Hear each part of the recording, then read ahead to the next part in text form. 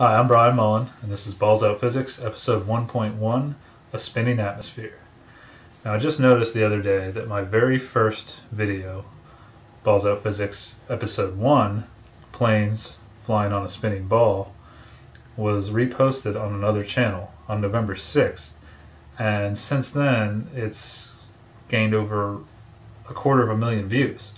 Now, that's surprising. I don't know how that works, but it's awesome because it gets people thinking about this problem when I first started looking into the idea of a rotating Earth and and really thinking about that and applying it to the everyday world I see, one of the first things I thought about were planes flying above a spinning Earth, and I talked about that in that video. And I couldn't really find, actually, I couldn't find a, rel- any type of relativity problem that used planes and a moving Earth. Now, there's tons of relativity problems out there showing trains and cars and other things that are moving on a surface that is assumed to not be moving, but there's nothing that takes into account, at least since I haven't I haven't looked since then, that accounts for an Earth moving with the planes. Now, if you scroll through the comments on that video, I posted a link to where my video has been reposted. People saying the same thing that even I said, is of course the air slows the plane down because my argument was an object in motion stays in motion unless acted upon by an outside force. So what's slowing the planes down? Because I said the atmosphere. How is the? I, didn't make the statement, which I should have done, about my assumption of an atmosphere spinning with the Earth. How how can that be? And so I implied in the video that the planes. Why aren't the planes going into orbit?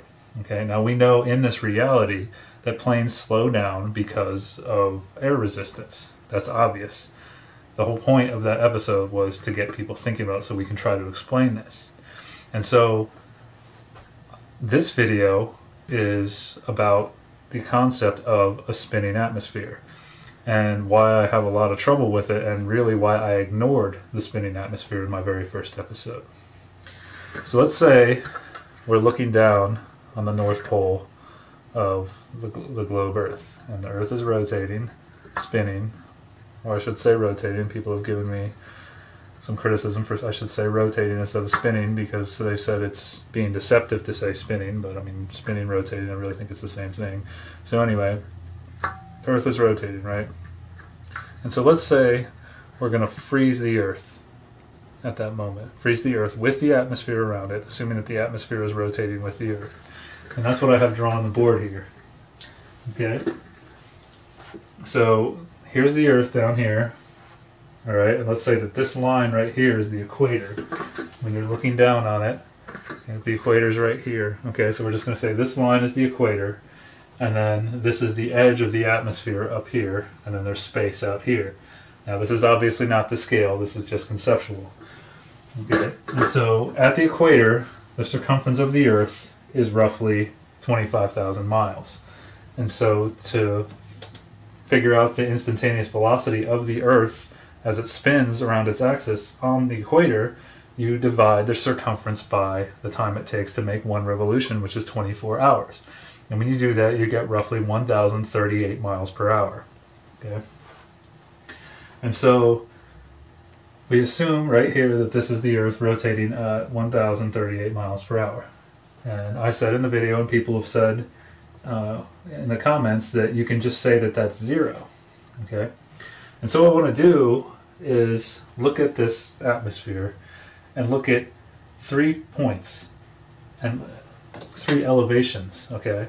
A, B, and C, and assume that we're looking at just one cubic foot of air, okay? Just to, to get our minds around this volume of air that's frozen in time right now, okay? So all of it's moving, all the air is moving with the Earth in such a way that it appears station relatively stationary. You know, we go outside, wind blows and moves around, but it's all moving with the Earth, and that's what slows the plane down because the the atmosphere moves with the Earth. Okay, so point A, point B, and point C, all moving with the Earth. I mean, they could be blowing this way, they could be blowing down at this moment, but since we froze them, we know that it's all moving with the earth and not getting left behind, right? That's the assumption.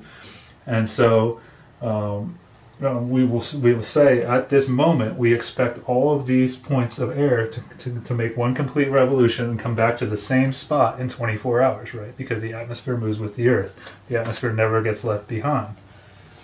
So right off the bat, since we know the velocity is equal to distance divided by time, we can say that VA, the velocity of point A, is greater than the velocity of point B, which is greater than the velocity of point C.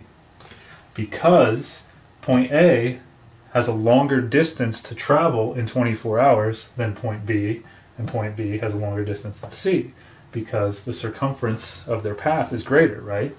So I've got A up here at the edge of the atmosphere, space up here, B right here around six miles where planes fly, and C near the surface of the Earth. Okay?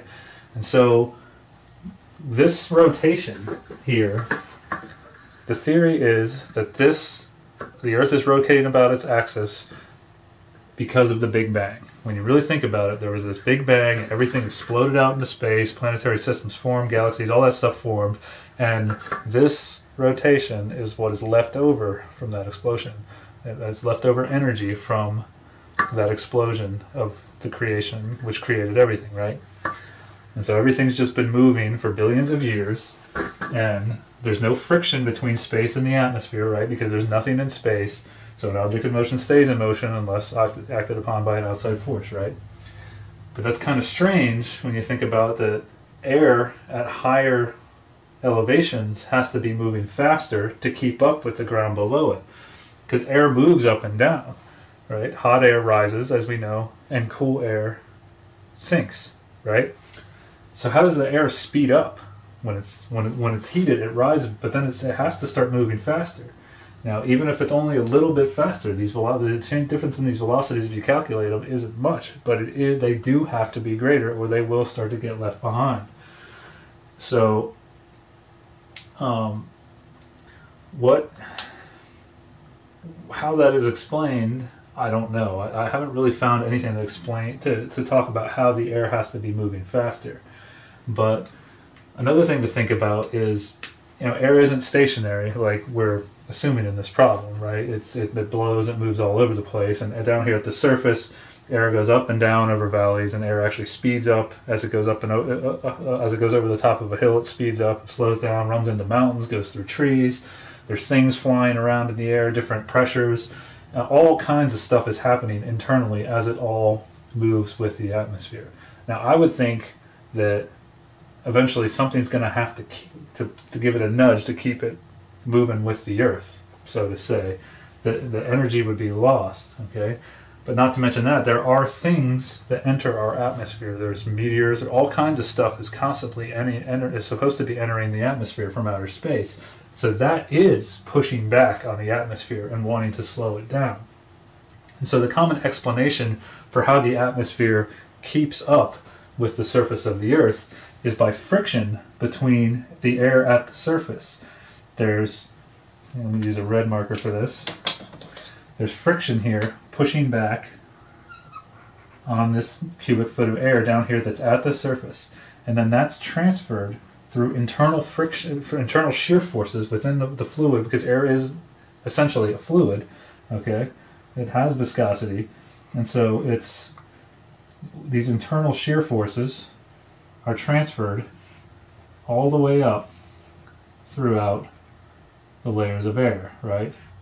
Just the air pushing against itself, the friction carries that that force all the way up to keep the atmosphere moving with the earth, right? Well, the problem I have with that that doesn't make the thing the thing that doesn't make sense to me, and this is why this a lot of this is why I ignored it in the, the first episode, though I didn't explain it, is when you create friction, you create heat. You rub our hands together. It's actually kind of cool here today. Rub my hands together to warm them up. That creates heat. Heat is essentially kinetic energy. And so when something creates heat on the earth, or when the earth is heat, heated by the sun, where does that heat go? Well, if you watch Balls Out Physics episode 4.1, I talked about how the accepted explanation for how the you know things don't just get hotter and hotter and hotter is that it radiates out into space, right? So heat from the Earth radiates out into space, into infinite space, and is lost forever. So this process right here, this friction process, the shear force process, creates heat. And that heat is escaping. Therefore, this whole system would be losing energy, wouldn't it? And so we say that heat is really kinetic energy. And kinetic energy is equal to 1 half mass times velocity squared, right? And so this kinetic, kinetic energy, I, I assume, is going down. The kinetic energy of the atmosphere is going down because it's losing heat. And since I hope we're not losing mass to infinite space, you know, losing our air, that leaves only velocity to go down. So not only does the speed of the air relative to the surface of the earth have to increase as you go up in elevation because the path it has to travel, the length of the path, the circumference increases. Um, we also have this problem with losing energy. I don't understand how this could work. And that's that's one thing I've been thinking about. I hadn't really come up with a way to explain it until, making this video. So how does how does this atmosphere keep up with the Earth? And this is why in the very first episode I really was saying how do planes not go into orbit? Because how does the atmosphere, in a sense, keep up with the Earth? I probably should have made this video first. First. So that's how I feel about this. Um, please keep the discussion going. I'm going to post a comment on the repost of my first video saying that I made another video to, to keep this discussion going because that's what this is all about. It's just talking about this world. And uh, if if you agree with my analysis or you don't or you just want to keep the discussion going, please go to the video. I posted a link in the description below and like my comment so it'll get bumped to the top so people can see this video and we can keep this going to, to figure out what's going on here because really this this this uh, this this increase in velocity that you have to have to keep up with the Earth doesn't make sense, and then the heat loss to me. Another thing a lot of people have said is you can set the velocity of the Earth equal to zero, right? Because you know because of relativity, we just say that the Earth isn't moving for the plane problem, right? But if VC, right, right at the ground surface is equal to roughly zero. I mean, it is a little bit above the surface, so it would be, have to be slightly faster than zero because its path is slightly longer if you go to the center of a foot. That's just getting too too far into it though. So if we say VC is zero, then VB and VA both have to be greater than zero to keep up with the Earth, or they'll get left behind in 24 hours. So how does it all work? How do these things blow and move all over the place, but still keep up with an Earth that's rotating? How does that work? There's just too much going on. It doesn't doesn't really make sense for this all this movement to be happening, but us to go outside and experience this relatively stationary air that we experience every day. So that's my thoughts on this. Please keep the discussion going, and uh, until next time, peace.